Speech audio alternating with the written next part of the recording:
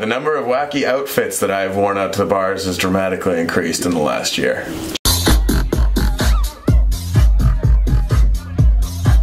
There's a, a big time pressure for everyone to be in this box.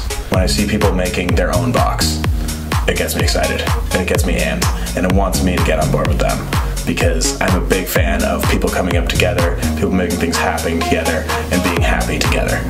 Everything the Pub House does is good for Popsicle, is good for Taproot, is good for everyone. This one moment that could potentially, and I think will, really blast them off in a great direction, and it's all been brought together by music.